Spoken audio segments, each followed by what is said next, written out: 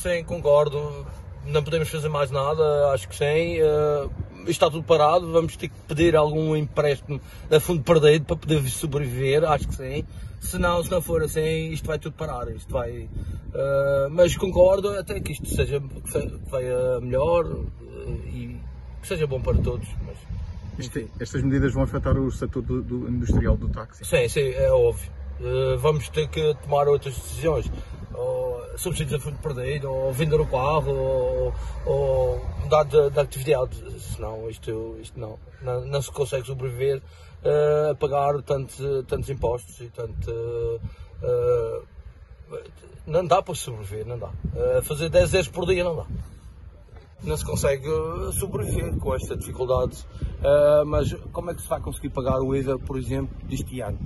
Ah, temos, acho que não, nem muita gente vai pagar, ninguém vai poder, porque há muitas despesas.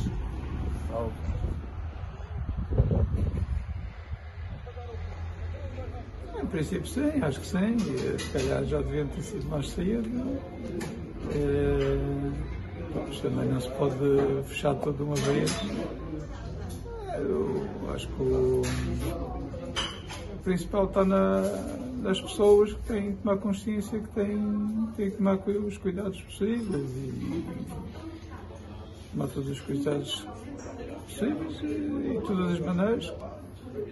Evitar ajuntamentos, em que isso tem acontecido principalmente acontecer, principalmente na altura de Natal e depois, fim de ano.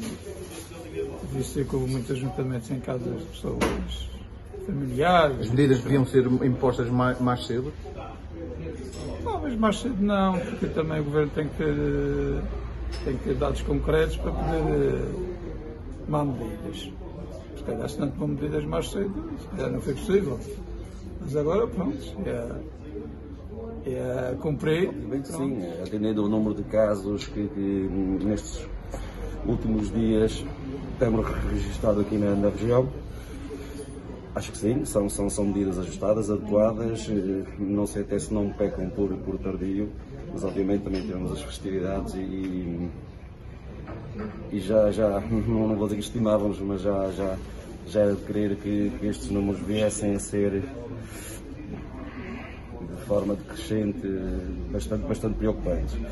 Obviamente que, que cabe agora cada um de nós eh, termos, evitarmos os comportamentos de, de risco e, e, e, cabe a cada um de nós termos o nosso próprio médico e fazermos tudo um pouco para, para que possamos reduzir drasticamente os números e, e voltarmos à nossa normalidade possível.